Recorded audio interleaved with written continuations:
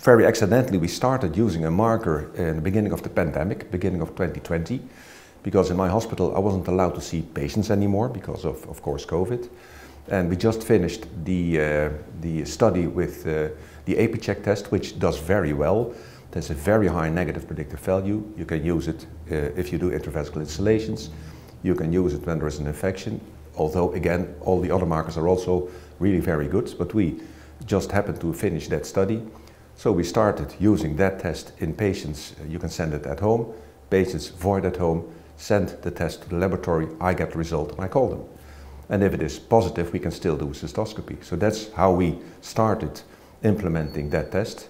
And since then, we now alternate a cystoscopy with a urinary marker, the EpiCheck marker. And patients are very happy with that. Again, they don't have to drive to the hospital. Their uh, people, their, their family doesn't have to stop working and drive to the hospital. They don't have to park. The urologist can do something different. And macroeconomically, it's much cheaper. We, we, we looked at that, we calculated that, and macroeconomically, it's much cheaper.